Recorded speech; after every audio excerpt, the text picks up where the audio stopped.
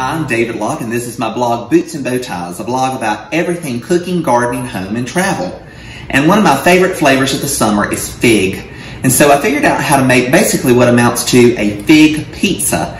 It's fig preserves, prosciutto, goat cheese, and arugula, and it's so easy to make, and I promise even your children will enjoy it. Here's how I make it.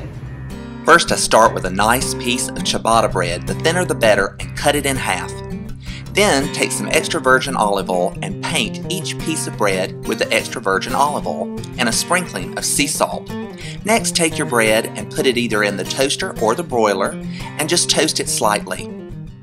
Then after it's toasted, you want to take about a teaspoonful of very good fig preserves and spread that on each piece of bread.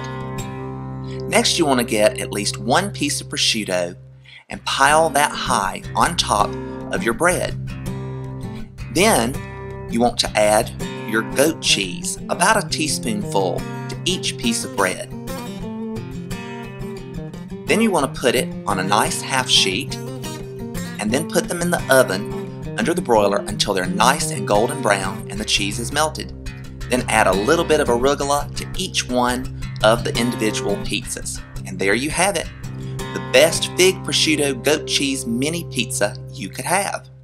Follow us on bootsandbowties.com for all the ingredients